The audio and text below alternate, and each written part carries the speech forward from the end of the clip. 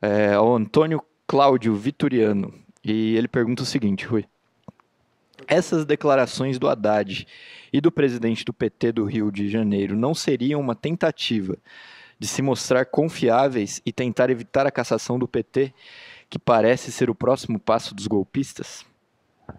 Bom, pode ser que tenha também essa, essa preocupação, né?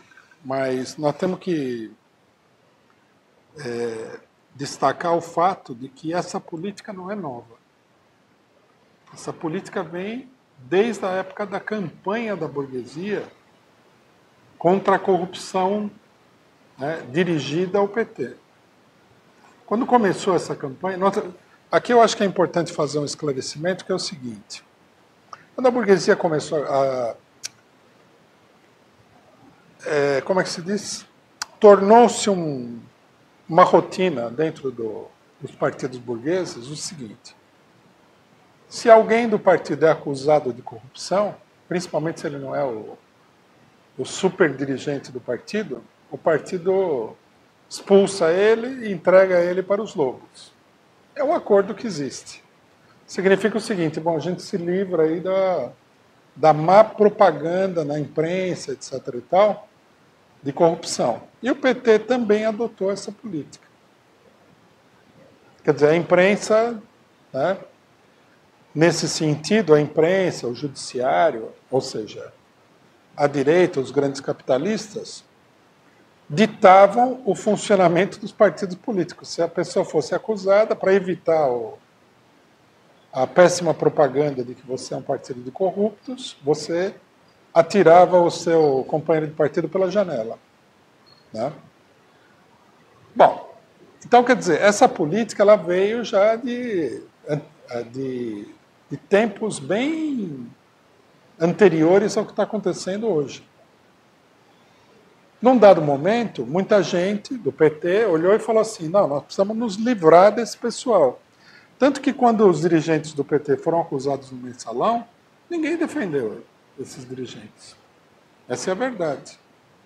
Como nós podemos ver hoje, né, uma vez quebrada a contenção sobre os militantes do PT, os militantes do PT defendem o Zé Dirceu, outros dirigentes. Mas naquele momento, uma parte era contra e outra parte estava totalmente assustada com a ideia de defender o Zé Dirceu. Quer dizer, não é uma coisa nova.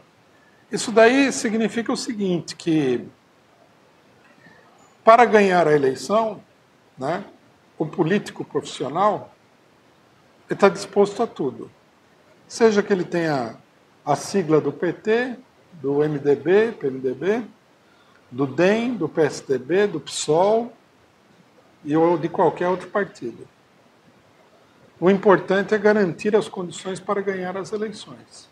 Por isso que esse pessoal vem falando isso. Essa ideia do Haddad de que é preciso tirar o PT do SPC não é nova. Isso já foi apresentado inúmeras vezes. É, a ala direita já chegou a apresentar uma proposta que era a seguinte: se alguém for acusado de corrupção, veja só o. O pessoal fala tanto de republicanismo, né? Veja que coisa mais republicana e democrática. Se alguém for acusado de corrupção, uma comissão interna do PT vai julgar se ele deve ou não deve permanecer no partido. Quer dizer, opa, já é meio caminho andado para o cidadão ser condenado fora. Como se não houvesse campanha da burguesia, como se não houvesse a tentativa de atacar o PT em todos os sentidos. Eu, eu, inclusive, acho o seguinte, que uma parte desse pessoal, como esse, esse presidente do PT do Rio de Janeiro, eles não acreditam que o PT vai ser colocado na ilegalidade. O que eles querem é, digamos assim, melhorar as relações com as pessoas que estão no poder hoje. O Congresso está dominado pela direita. Se você quiser passar lá um, um projetinho vagabundo qualquer, que saiu para você fazer propaganda de que você é um grande libertador da humanidade, você vai ter que conversar com a direita, não é? Senão você vai ficar lá chupando o dedo. Então a ideia deles é essa. Aprova um projetinho lá, né? eles encontram uma lei numa cidade do interior que fala que é, mulher não pode andar de calça comprida no fórum, daí o cara vai lá faz a lei de que super libertadora de que a mulher pode andar de calça comprida no fórum e tal. E aí fica se não muda nada para ninguém com todas essas leis, né? Verdade seja dita. É um monte de abobrinha, algumas são muito reacionárias, aumento de penas, etc. e tal. E o, o pessoal faz de conta de que eles estão prestando um grande serviço ao povo.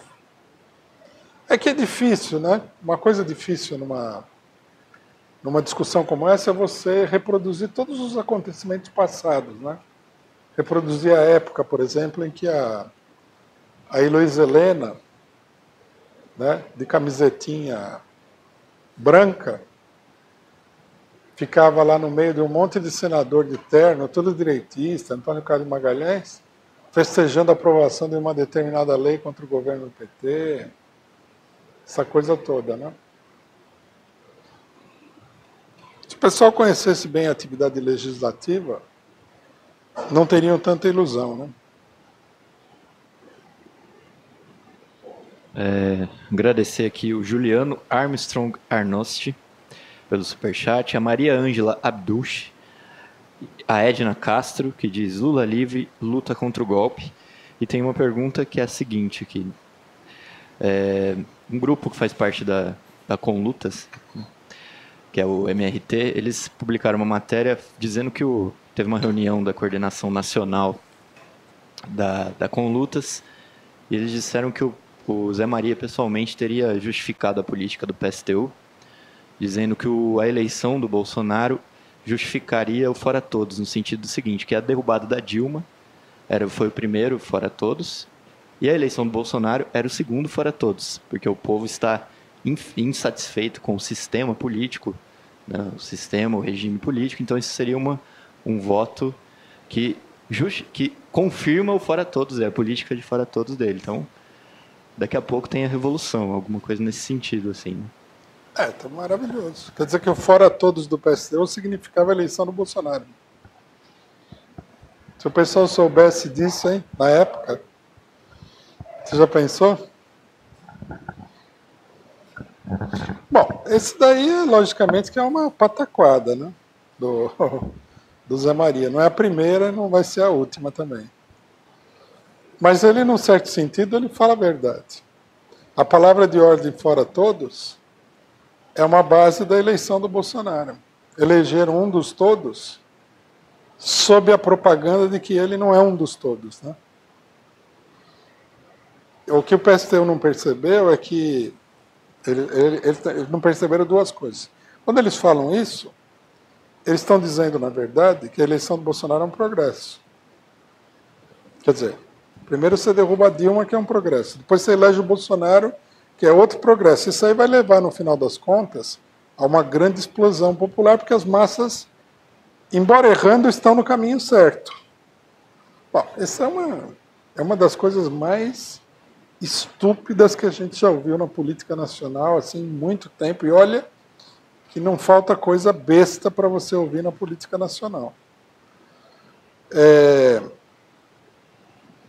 E o segundo, né, isso aí implica em que depois do Bolsonaro vem a revolução. Isso daí já é uma capitulação vergonhosa. Né?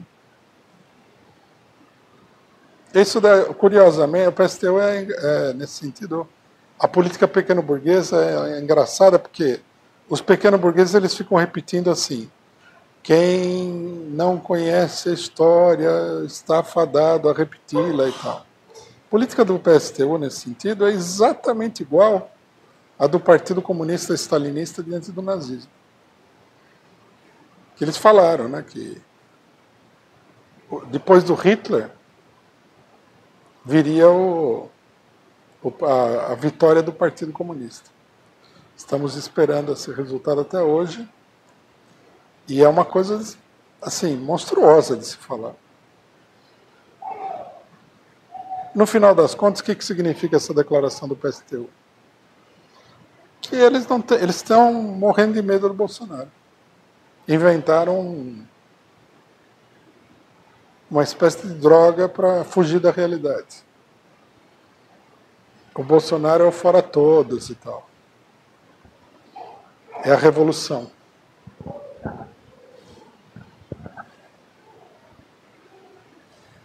É, queria retomar aqui uma discussão que a gente veio fazendo sobre política e futebol, né? É, até para contrariar a esquerda pequeno burguesa que fala que futebol não tem nada a ver com a política, etc. Recentemente, a Libertadores da América, tem um nome, a gente até colocou no programa do resumo do, do dia, né? Que o nome Libertadores da América é para simbolizar os, os que libertaram a América dos seus colonizadores, né? E recentemente, europeus, né? europeus. dos europeus, principalmente portugueses e espanhóis, né? E recentemente a, a gente vem fazendo toda uma análise sobre o, a, o ataque do futebol europeu ao futebol brasileiro, né? E, e a gente teve o acompanhamento da Copa com o VAR que eles utilizaram para a França ganhar a Copa e agora eles introduziram o VAR para tirar os times brasileiros, porque os times brasileiros foram os mais prejudicados com o VAR na Libertadores. E aí Ficaram dois times argentinos na final.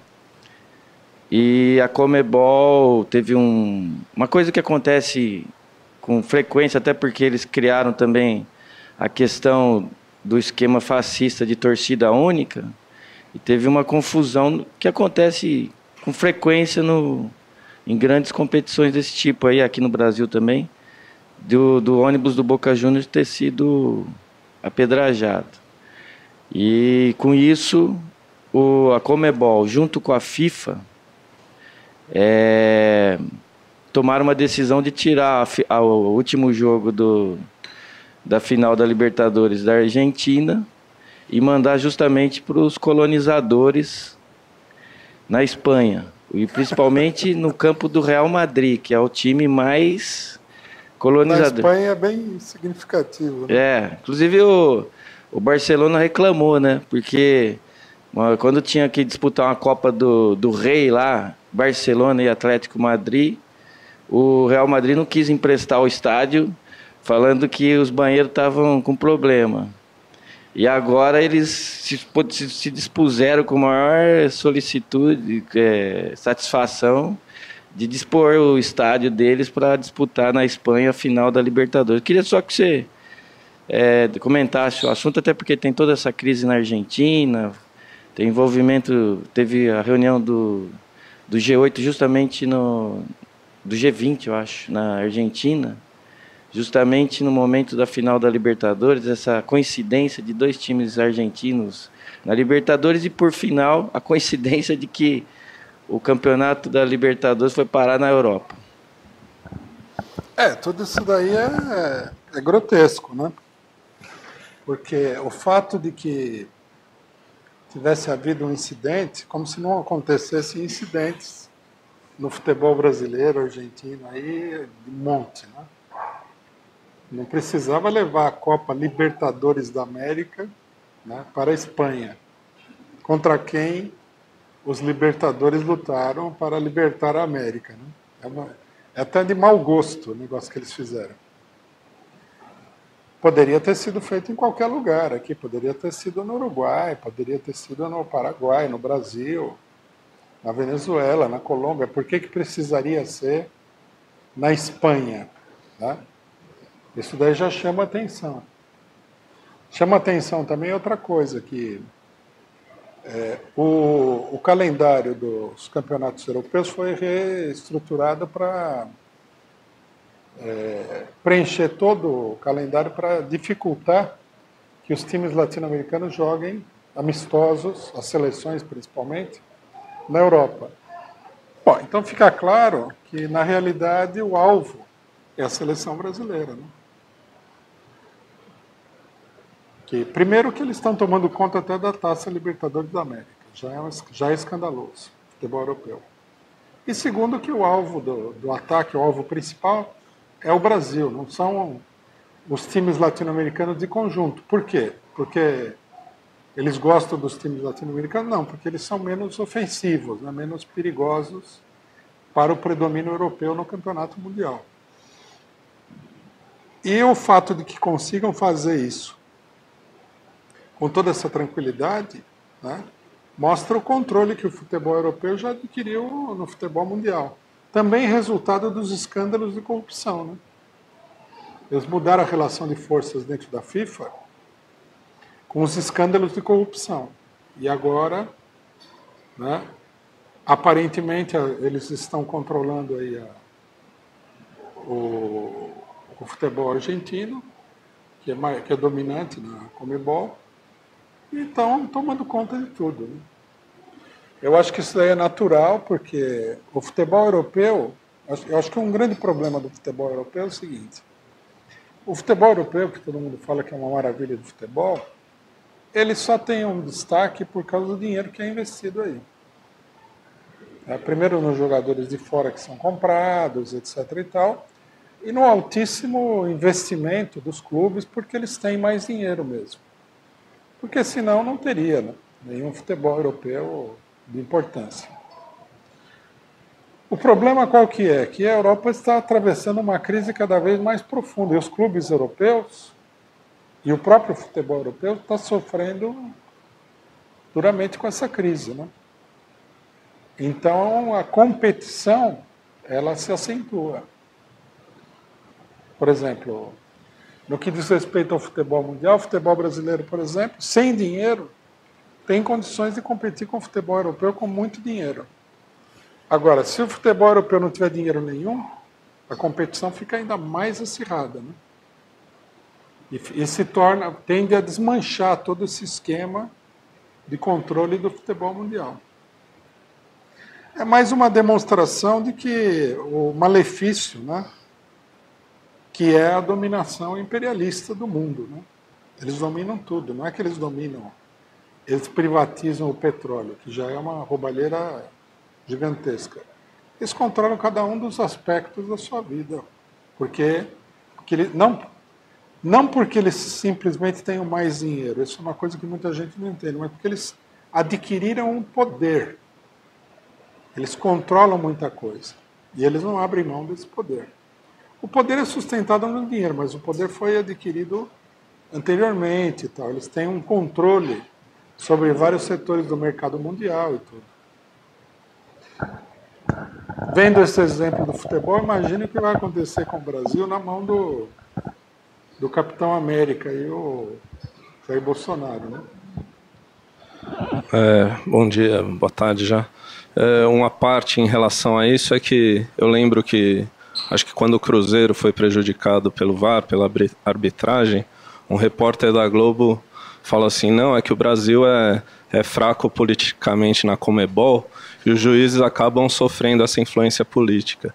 Eu achei engraçado que, que alguém da Globo reconheceu que os juízes sofrem influência política. Mas tirando isso, o que eu ia perguntar mesmo é que engraçado também é, é que tirando o servilismo do Bolsonaro e do filho dele careca, né, o Bozo e o palhaço carequinha, né, aos Estados Unidos. É, também no aspecto micro a gente vê um fenômeno, eu pelo menos sou, fui até parte disso, testemunha disso, que é isso da vizinhança solidária, né, dos, nos bairros da classe média, acho que de todas as capitais, né, aqui em São Paulo é forte.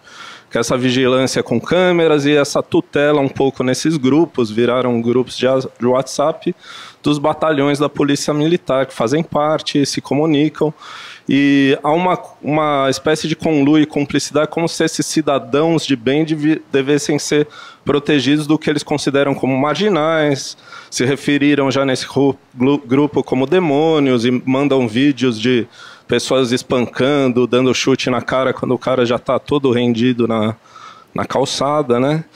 Enfim, e o que eu acho engraçado é que eu acompanhei depois que eu ingressei por livre e espontânea coação a, a esse grupo. Uh, uh, como é que é? Uh, eu, terceira campanha solidária, engraçado que eles também pegaram essa palavra solidariedade da esquerda, né, que nem o partido do Paulinho da Força, uh, para terceira, ou seja, antes houveram outras duas, né, para reparar um, um carro da PM que tinha sido destruído numa perseguição que os heróis é, mataram e prenderam os bandidos. Ou seja, os, os, os moradores se cotizarem para fazer isso com uma contribuição mínima de 50 reais. E não era obrigatória, mas todo mundo que doava aparecia o nome dos doadores, ou seja, quem não doava já ficava um pouco nessa lista negra, né?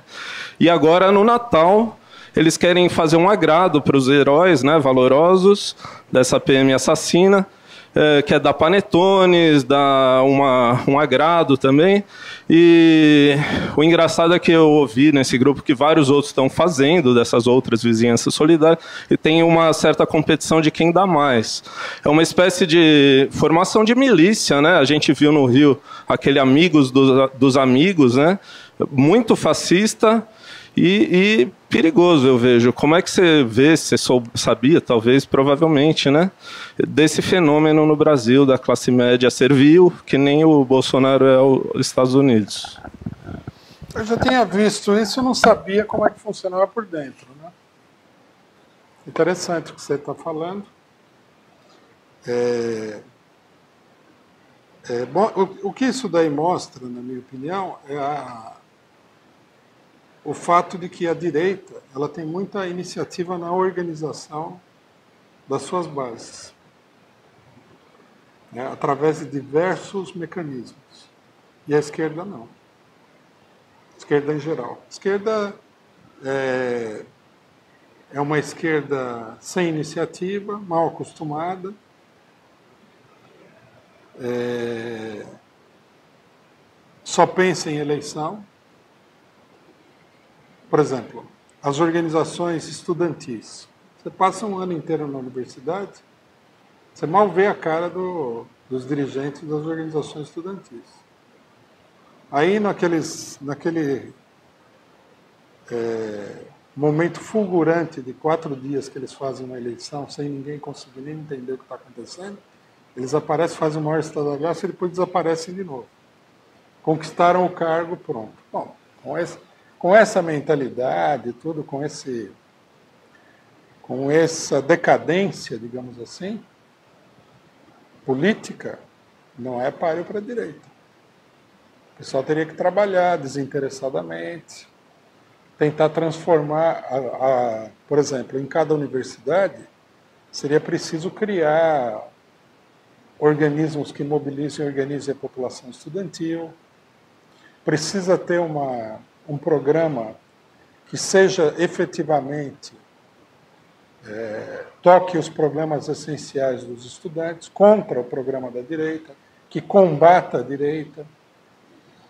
Não dá para você simplesmente, não dá nem para acusar a direita, eles estão no papel deles, estão organizando a população do jeito que eles sabem. É uma maneira autoritária, truculenta, fascista, mas eles são ativos. Enquanto que a esquerda? A gente vê pelas declarações aqui, enquanto que o Lula fala precisamos ir aos bairros, o cidadão está querendo fazer aliança lá com o Zé Mané do PSDB, que nem voto tem mais. Quer dizer, não, lógico que desse jeito, com essas ilusões, com essa falta de iniciativa, o negócio não vai para frente. Acho que a gente tem que ter consciência disso, a gente precisa discutir com muita gente, organizar, né? precisa ter meios de comunicação com o povo fortes, precisa fazer reunião, precisa fazer propaganda política em todos os lugares. Por exemplo, você vê, ó, eletricitários, é, é, eletricidade, petróleo, correio, está tudo ameaçado de privatização. Se você vai nessas categorias para ver o que, que os sindicatos estão fazendo, você morre de depressão. Porque eles não, quer, não querem fazer nada. E se você propõe fazer alguma coisa, ixi, aparece tanto, tanta desculpa que você vai embora para casa e praticamente você fica a favor de privatizar o negócio. Assim não dá. A primeira coisa que a gente precisa entender é que precisa trabalhar contra a direita. Trabalhar, né? É, uma boa parte da esquerda, até bem intencionada, né, mas boas intenções não resolvem nada, faz campanha nas redes sociais e tal. Mas isso daí não é suficiente. Exemplo, acreditar que a direita ganha eleição por causa das redes sociais, como o PT está, está, está propagandeando, é falso, primeiro, porque a eleição foi ganha no, no tapetão. Mas é mais falso ainda porque o, os votos que a direita tem, ela tem esses votos organizando os setores de direita. Vocês entendem isso aí? Né?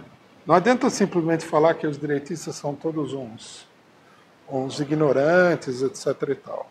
O pessoal está se organizando. Esse, esse exemplo que você deu é um dentro, dentre centenas e provavelmente milhares de exemplos de organização. Né? Você vê a, a, a direita religiosa faz um, um trabalho grande de organização. Eles organizam círculos de jovens, eles organizam é, círculos para discutir o casamento do povo, tem mil e uma.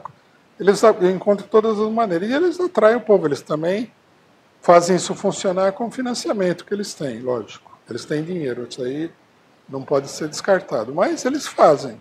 A esquerda não faz.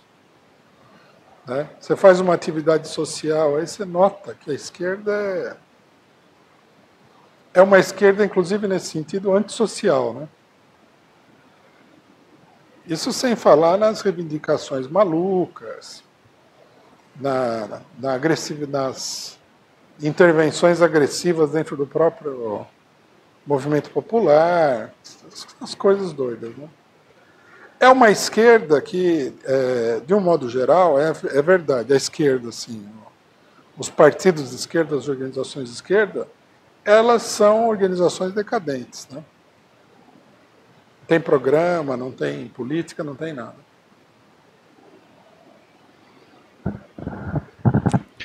Bom, é, eu queria fazer uma pergunta que veio lá do Rio de Janeiro companheiros estão assistindo lá no Centro Cultural Benjamin Perret, lá na rua Taylor, número 47, na Lapa.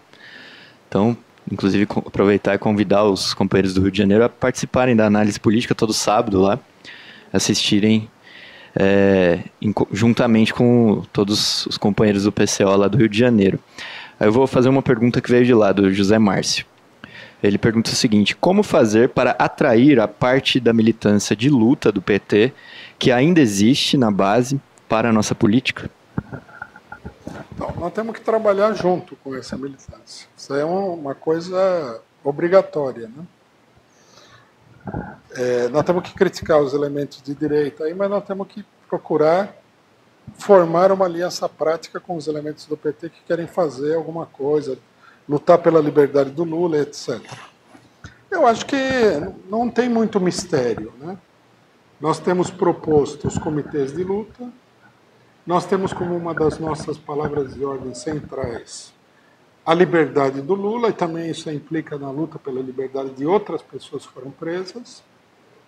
Nós temos a luta contra o governo Bolsonaro, eu acho que é fácil de fazer uma aliança.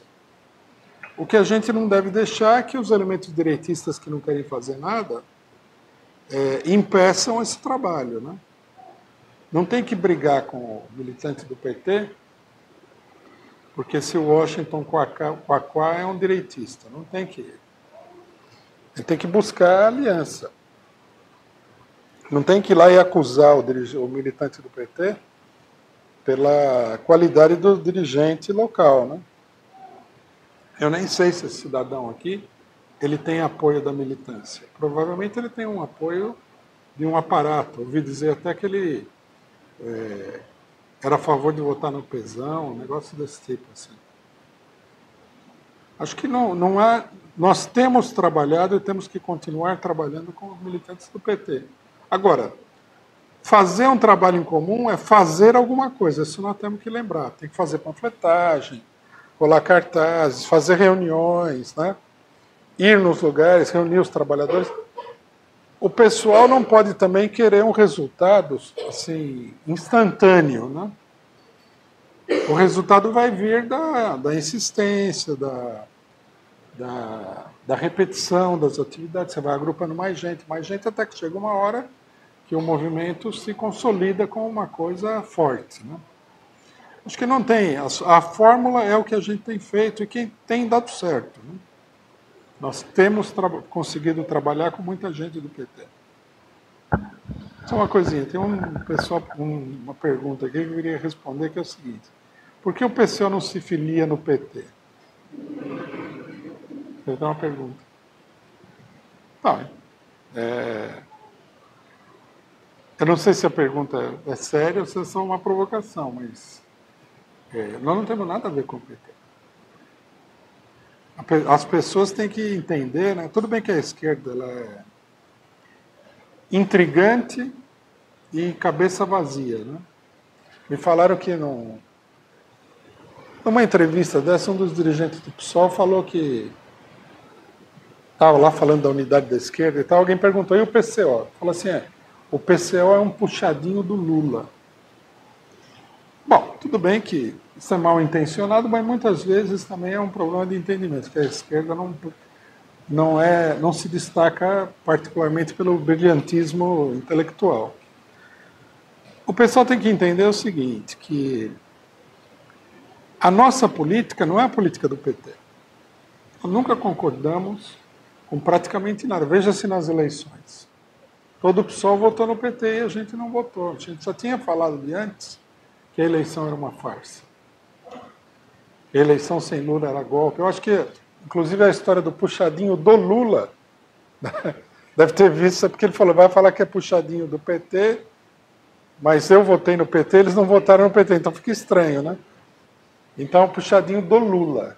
Então, agora nós somos aqui o, a milícia, milícia do Lula. Tem nada a ver. Nós temos a nossa própria política e, vou dizer mais, nós temos muita clareza do que nós estamos fazendo. E eu acho que a política de não procurar uma frente única, de alguma forma, com os setores do PT que querem lutar, é uma política estéreo. Porque a maior parte do, do efetivo militante no Brasil, não só do não só do eleitorado, do efetivo militante, está no PT. Isso, é, isso por um lado, né? A pessoa precisaria explicar por que, que eles não consideram que a unidade com os setores é, ativos do PT é importante. É isso que teria que ser explicado. É, em segundo lugar, também existe aqui uma coisa que é o seguinte: quem se mexeu contra o golpe, salvo que a gente não conheça, foi o PT, mal ou bem. Todos os atos, todas as iniciativas foram convocadas pela CUT e pelo PT. E os que não foram colocados, convocados pela CUT e pelo PT foram convocados pelo Boulos, que só atrapalhava a mobilização na época da luta contra o impeachment. Chamava dividia os atos, queria colocar em primeiro plano a luta contra Dilma, misturava a luta contra Dilma com a luta contra o impeachment. Era um elemento terrível de confusão, como a gente viu depois. Né? Então, por que, que a gente não, não, não ficaria próximo do PT? Só que o PCO não é o PT, o PCO não concorda com o PT. Para qualquer pessoa que observe com atenção a nossa política, sabe que não é a política do PT.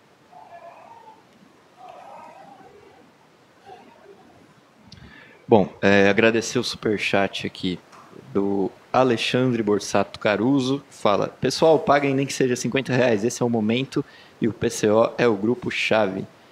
É, agradecer e seguir o, o, conselho, contribua com o super chat aqui na Causa Operária TV, contribua também na vaquinha e com uma, ou com uma é, assinatura solidária na Causa Operária TV. Aproveite e se inscreva no nosso, no nosso canal. É, também agradecer a Terezinha Assunção, que diz: Boa tarde, presidente Lula, boa tarde, camaradas de luta do PCO, equipe de luta e camaradas internautas. E ela diz também: Lá vai a mensalidade, camaradas de luta. Ansiedade não me permite reuniões mais. Ação nas ruas, de conversas em bairros, praças, além de porta de fábrica e de colagem. Não vale? Por que não conseguimos deslanchar esta ação de boca a boca? É, bom, e uma, uma pergunta do Miguel Freitas, que é a seguinte. Será que este indiciamento judicial do Haddad não é coisa combinada para ele ser inocentado e bradarem: olha quando, é, olha, quando é inocente não acontece nada? Ou seja, uma jogada? Tudo é possível. Vamos ver. Difícil saber, né? Toda vez que a gente analisa alguma coisa, nós temos que saber que nós temos que eh, ter presente que nós não sabemos o que está acontecendo. Né? Senão você erra mesmo. Se você achar que você sabe. Ninguém sabe o que acontece numa reunião a portas fechadas foi feita lá. Só, só a gente que não tem experiência política acha que tudo é feito às claras. Né? 90% é feito é, fora dos olhos da maioria das pessoas. No mínimo, 90%. Né? Bom, tem mais uma pergunta de, do superchat do Fernando do Fernandes da Silva Filho. Oi, você não acha que o sonho da, de Haddad e da direita golpista é a extinção do PT para que eles possam se juntar ao FHC e PSDB? Não, eu não acho que é isso não. Eu acho que a, o sonho deles, nesse momento aqui, no, no, momento não, o sonho geral é tomar conta do PT. É conseguir a, a legenda do PT para a política deles. Então, eles estão achando que a situação é muito favorável. O Lula está na cadeia, apesar que ele pode disparar uma carta de lá também, que é, é mais poderosa do que muita bobagem que a direita fala, né? Mas eles pensam assim: o Lula está na cadeia, a gente põe um direitista, tira a Gleice Hoffmann, coloca o Haddad na presidência, toma conta do partido, nós temos os governadores e a gente impõe a nossa política. Não é simples assim, mas é o que eles estão tentando fazer. Se não der certo, certamente a, a, a próxima cartada, à medida que as divergências se acentuem aí, é romper, é romper com o PT. Ou rachar o PT, sei lá. Bom, é, Mauro Ribeiro também contribuiu com super chat. Pergunta: a esquerda, em especial o PT, não, deve, não deveria recorrer às suas bases para combater a influência da mídia burguesa sobre a população como estratégia de guerra assimétrica no campo das ideias? Não seria uma estratégia crucial para derrotar o golpe? É, eu acho que, veja bem, a tal mídia burguesa, palavrinha chata essa, né? Ela sempre existiu. As classes dominantes sempre tiveram controle dos meios de comunicação, sejam eles muito primitivos, sejam eles muito desenvolvidos. Em todas as épocas, né, o, eram as classes dominantes que dominavam o negócio. O povo tem que se organizar em determinados momentos para conseguir estabelecer a sua própria rede de comunicação. Né?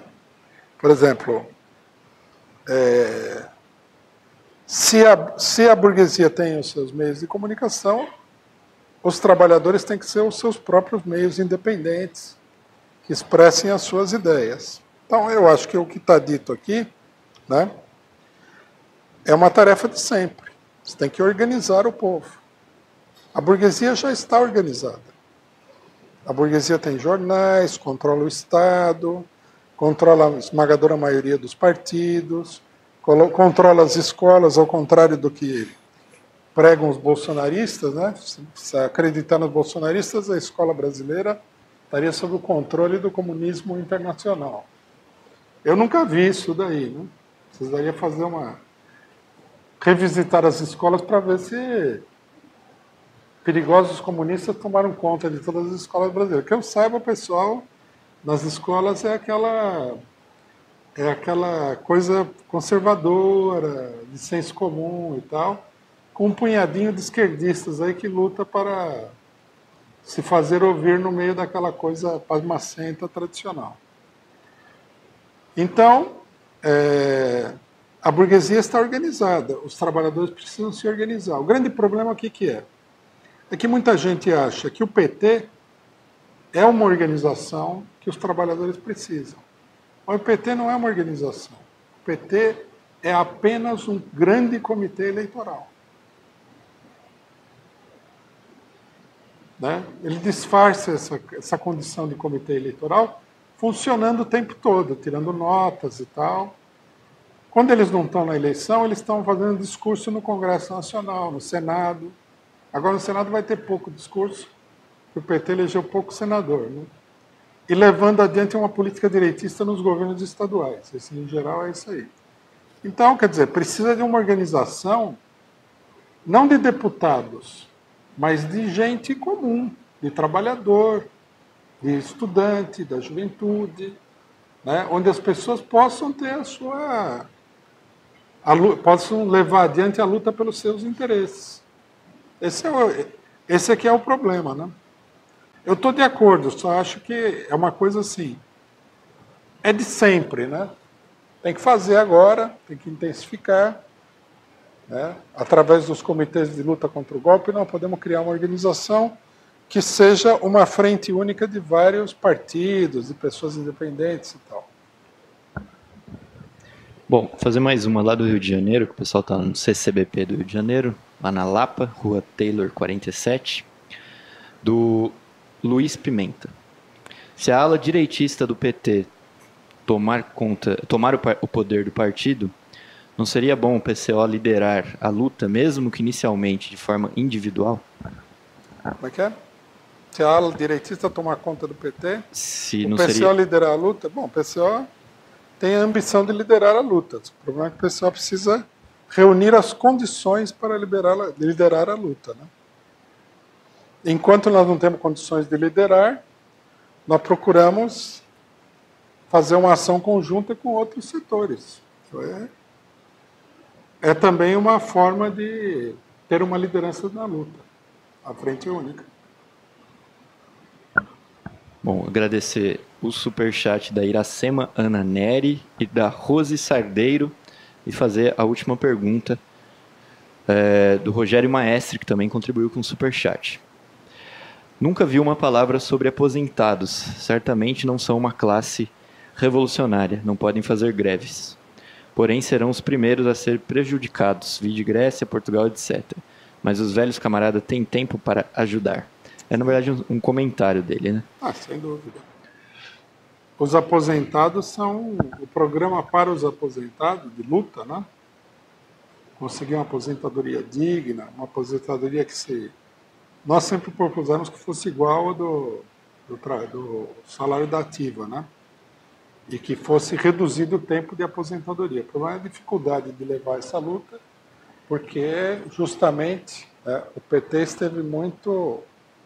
O PT e os sindicatos se dobraram à política de reforma da Previdência, que é uma política dos bancos internacionais. Nós somos absolutamente contra essa política. Bom, agora sim a última, aqui aquela era só um comentário do Davi Macedo, lá do Rio de Janeiro. A fusão do PCdoB com o PPL vai dificultar a luta contra o golpe? Não, não vejo. O PPL é um partido relativamente secundário, sempre teve aí também. Precisa ver o que, que essa fusão é uma fusão de oportunidade, né? O PCdoB conseguir ultrapassar a cláusula de barreira e receber o fundo partidário. É simplesmente isso daí. Vamos ver se isso daí tem. vai ter futuro e tal. Não é que. É, tudo bem que os dois partidos têm uma política até parecida, mas não é que eles sejam totalmente iguais. Né? E depois tem os interesses particulares de cada grupo. Não é nenhuma fusão assim de que o pessoal se encontrou, eram almas gêmeas e tal, descobriram que eles tinham as mesmas ideias, papapá.